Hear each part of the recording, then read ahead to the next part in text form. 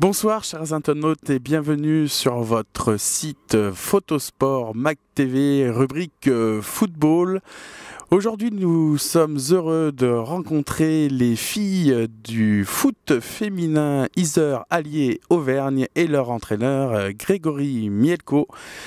Les filles qui sont actuellement leaders de leur groupe de Division 2 euh, avec trois points d'avance sur les Girondins de Bordeaux et une réelle chance d'accéder à l'élite du foot féminin. Nous recevrons aussi Alice Benoît, fraîchement recrutée par Iser Ali Auvergne et qui nous parlera de son parcours ainsi que Julie Berger, la doyenne des joueuses de Iser Ali Auvergne qui est au club depuis 12 ans. Bonsoir Grégory et bienvenue sur cette rubrique euh, football. Alors peux-tu tout d'abord te présenter à nos internautes et expliquer un peu ton parcours et euh, pourquoi tu, et, pourquoi et comment es-tu devenu l'entraîneur des filles euh, d'Iser Allier Auvergne Bonsoir à vous. bah, tout d'abord, j'ai 38 ans. Je suis arrivé sur la région en 97. Euh, c'est ma 18e année euh, sur Iser. J'ai passé 13 euh, ans à l'Ice Iser Football où je me suis occupé de bah, tout ce qui est préformation et formation jusqu'aux équipes seniors tout en passant mes diplômes d'entraîneur. Voilà, je suis arrivé au foot féminin euh, euh, grâce à Johnny Carey et euh, Patrice de Gironde qui était en place, voilà, et l'ancien président Paul Siro, voilà, qui, m'ont accueilli et qui m'ont demandé de venir autant coach adjoint, voilà, où j'ai passé trois années en première division. J'ai connu la D1 féminine, le haut niveau, et là j'ai repris l'équipe il y a deux ans après la descente de première division quand Xavier Aubert qui était venu du Mans et arrivé une saison. Voilà, on a repris cette équipe euh, depuis deux ans et ça fait une bonne expérience de cinq années euh, au niveau des, des féminines du championnat national. Voilà. Et euh, Grégory, quel bilan peux-tu nous faire de cette euh, mi-saison? Vous êtes actuellement leader avec euh, trois points d'avance sur les Girondins de Bordeaux, vous avez été faire match nul chez eux 0 à 0 il y a quelques semaines. quel bilan peux-tu nous faire de cette, de cette mi-saison? Bah, Le bilan, il peut être que positif dans l'immédiat. On est toujours invaincu en championnat, on a 11 victoires et 3 nuls. Euh, voilà, euh, surtout cette année, c'est une année euh, très compliquée parce que la fédération resserre les niveaux en deuxième division surtout. il faut terminer dans les 6 premiers du championnat sur une poule de 12 et bah, les objectifs sont presque atteints même si mathématiquement ce n'est pas fait. Mais voilà, notre premier objectif c'était déjà de se maintenir. Voilà, maintenant pour la suite, on va prendre match par match. Il nous reste 8 matchs de championnat, des, bons tests dans les semaines à venir face à des équipes comme Saint-Malo, Rouen, euh, Le Mans, où euh, c'est le top 5. Et euh, toutes ces équipes-là vont batailler. Nous, avec notre équipe jeune, qui progresse et qui travaille très sérieusement. voilà, on est dans nos objectifs on va prendre match par match et pourquoi pas, bah, peut-être que le 22 mai, euh, euh, ça sera la bonne nouvelle et un autre objectif euh, qui peut être atteint, la remontée en plus haut niveau national. Et on compare souvent le football féminin et le football masculin. Et peux-tu nous parler des spécificités du football féminin et surtout les difficultés ou pas de management qu'on peut avoir avec des, féminines par rapport aux, garçons et je sais que tu as connu les, deux. Oui, euh, la différence, on va dire, euh, il y a beaucoup de différences parce qu'on ne peut pas comparer euh, les joueurs et les joueuses. Après, sur le terrain, au niveau de l'impact, de la vitesse, etc., ça, on le sait que bah, c'est compliqué. On ne peut pas comparer sur ce point athlétique, on va dire.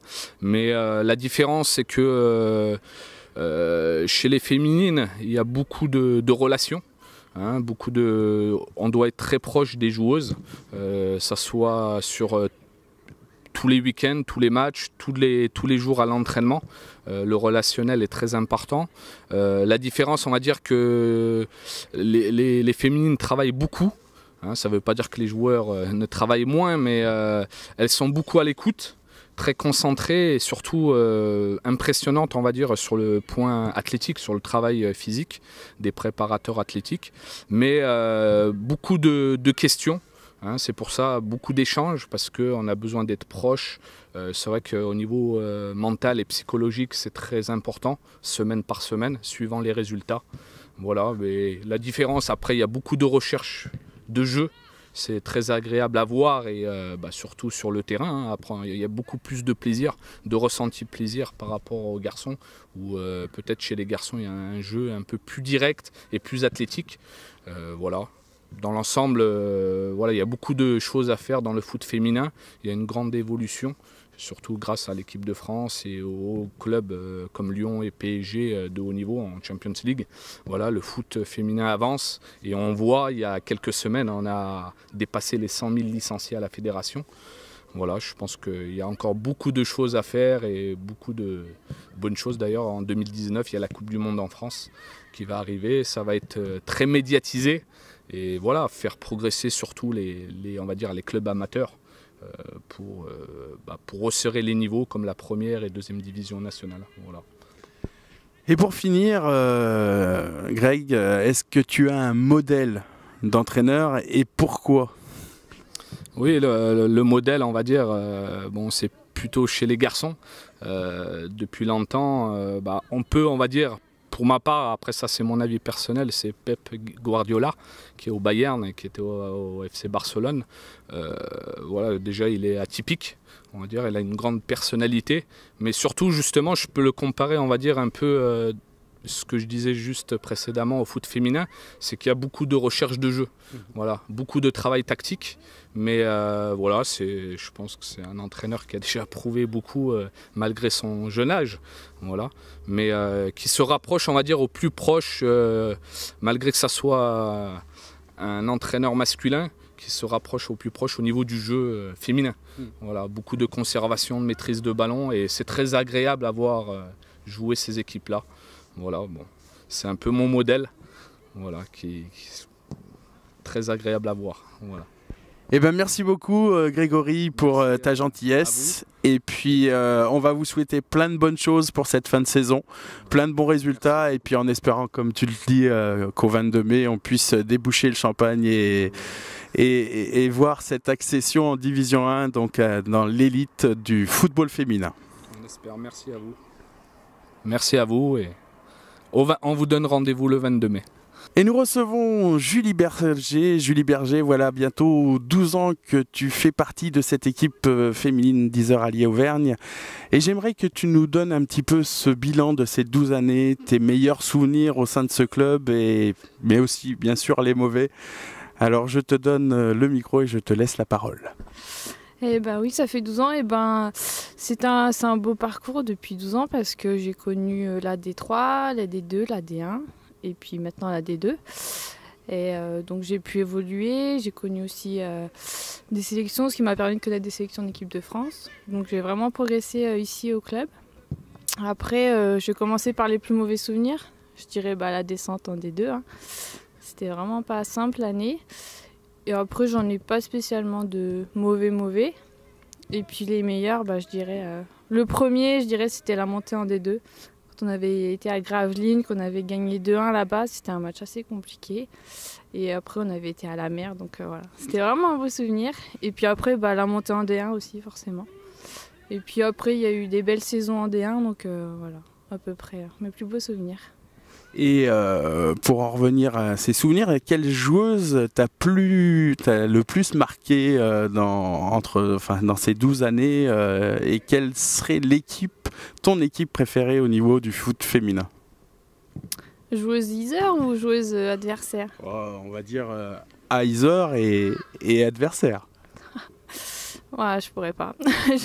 Non, je sais pas parce qu'il y en a eu tellement et puis euh, chacune avait ses qualités donc euh, chacune nous a apporté quelque chose à, à un moment donné. Après l'équipe, euh, je dirais ben, l'Olympique lyonnais quoi parce que forcément elles sont quand même impressionnantes à jouer contre elles donc ouais, l'Olympique lyonnais. Eh bien, on remercie Julie Berger pour sa gentillesse et puis on va lui souhaiter bonne chance pour cette fin de saison et puis cette possible accession à la division 1 féminine. Et nous recevons Alice Benoît, fraîchement arrivée de l'en avant Guingamp, recrutée par Grégory Mielko. Alors Alice, parle-nous un peu de ton parcours depuis que tu foules les pelouses de football. Dis-nous les différents clubs que tu as, avec qui tu as joué et, pourquoi aussi euh, Isère, Allier, Auvergne Pourquoi cette, cette arrivée ici à Isère, Allier, Auvergne euh, j'ai fait trois ans au pôle France Clairefontaine. Euh, j'ai joué ma première saison en D1 à 17 ans à l'ASG Soyo. Euh, je suis ensuite partie à Saint-Etienne. Et après, j'ai atterri à Guingamp. Et en fait, je suis arrivée en cours de saison pour avoir du temps de jeu parce que parce qu'à Guingamp, je ne jouais pas. Et du coup, et du coup, voilà, je suis une jeune joueuse, donc je trouve que c'est plus important pour moi de jouer. Et quelle ambiance tu as trouvé ici à Iser euh, Comment te sens-tu dans ce club euh, depuis ton arrivée? Ben, Je me sens bien. Euh, je connaissais déjà Sarah Chalabi, Candice et d'autres joueuses. Donc non, ça s'est très bien passé. je me suis très vite intégrée et ça se passe bien. Et euh, tu me dis que tu es jeune, mais tu as sûrement un, modèle euh, au féminin, au niveau du football féminin. Euh, et, quel est ce modèle et quelle équipe, quelle équipe tu préfères dans ce, dans ce football féminin? J'ai pas de modèle au féminin. Je regarde plutôt le football des garçons. Après, euh, j'adore le Paris Saint-Germain, donc, euh, donc voilà, c'est l'équipe qui me ferait le plus rêver en foot euh, féminin. Eh ben, merci beaucoup Alice pour ta gentillesse et puis ben, on te souhaite plein de bonnes choses pour la suite de cette saison avec Iser Allier Auvergne. À bientôt.